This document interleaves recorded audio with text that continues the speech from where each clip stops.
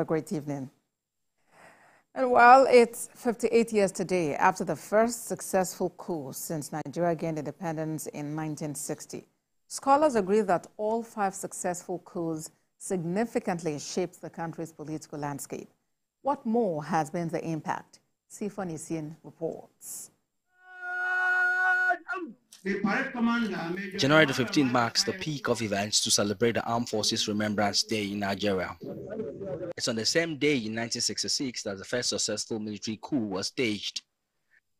Since then, there have been four other successful military coups. On July the 29th, 1966, a coup led to the fall of Johnson Aguiyi-Ironsi's regime on the 1st of August. There was another coup on July the 29th, 1975, after which Colonel Joseph Garba announced the removal of General Yakubu Gowon as head of state while Gowon was abroad. Whose population was seething with ethnic tension. In 1983, General Muhammadu Buhari was involved in a coup that installed him as head of state. 1993 witnessed yet another coup.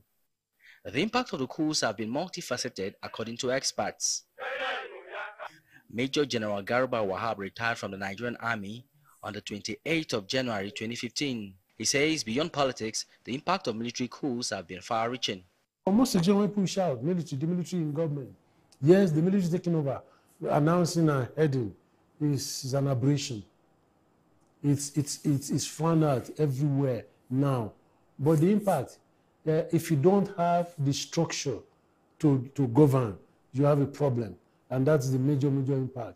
The structure of governance is affected when the military comes in.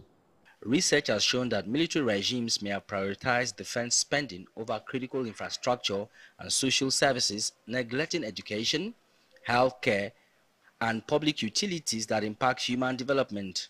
And so I keep on telling people, there's no point for me and my colleague who are supposed to be looking after the people and securing them to be, to be eyeing ourselves to be suspicious of each other. We can't provide the security we want to provide. And that's what normally happens during military era. Beyond the ceremonies of the Armed Forces Remembrance Day celebration, people with vast military knowledge like retired General Wahab believe January the 15th should also serve as a reminder that responsive governance, checks and balances, protection of civil liberties, and individual participation can only be guaranteed under a democracy. Sifon Asian TVC News, Abuja.